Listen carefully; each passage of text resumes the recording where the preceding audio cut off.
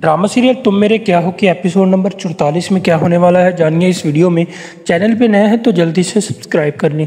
Episode number चौतालीस में आप लोग देखेंगे कि जब मिलने आएगा हादिया को उमैर और अपनी सफाइयाँ बयान करेगा, हादिया के पास आकर तो हादिया उसको बोलेगी कि तुमने सारे सिर्फ़ एक ही चोरी नहीं पकड़ी गई, बल्कि जिस दिन हम, मैं और सारा गाड़ी में जा रही थी, उस दिन स्नैच भी सारा का फ़ोन तुमने ही किया था।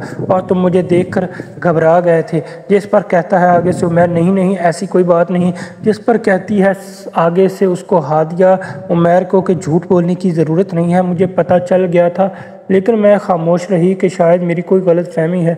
लेकिन तुम हमारी नाक के नीचे घर वालों को बताए बगैर और हमें पता भी नहीं है और तुम चोरियाँ करते फिर रहे हो।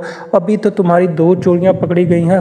न जाने तुम कितनी ही वारदातें कर चुके होगे। उधर दूसरी जानब आप लोग देखेंगे कि जब जहेब और हादिया खड़े होते हैं तो जहेब अपनी मोहब्बत का इजहार एक दफ़ा फिर हादिया से करता है, लेकिन हादिया फिर से इनकार कर देती है।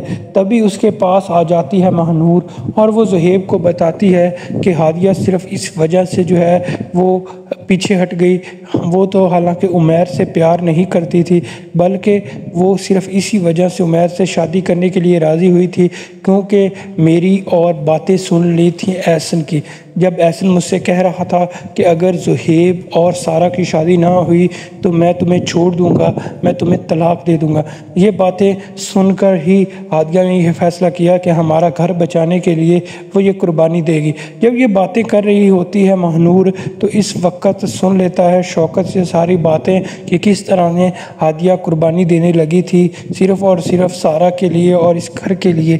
तो उसके शौकत के जहन में भी हादिया की इज़्ज़त और बढ़ जाएगी और जुहेब भी और शिद्दत से जो है वो हादिया को चाहने लग जाएगा। आपको क्या लगता है नाजरीन कि क्या सारा की होगी जुहेब से शादी या फिर हादिया से?